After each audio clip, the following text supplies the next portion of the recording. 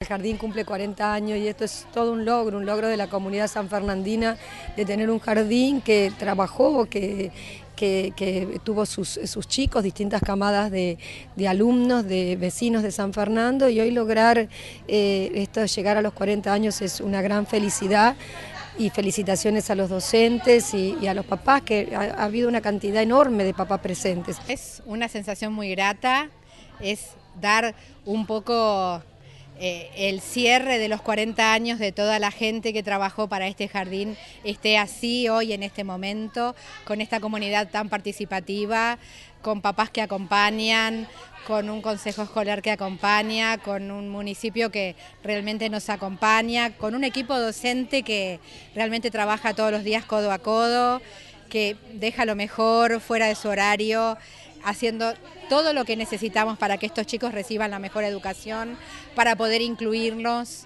Yo he traído todos mis hijos acá y mis nietos ahora vienen. ¿Cómo avanzó el jardín? Que cuando empezamos teníamos este, las, las hamacas eran de ruedas y ahora tienen juegos hermosos.